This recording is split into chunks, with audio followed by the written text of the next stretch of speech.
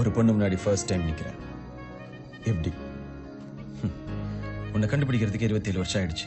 இதுக்கு மேலே என்னால் வெயிட் பண்ண முடியாது ஸோ டக்குன்னு சொல்லிடுறேன்.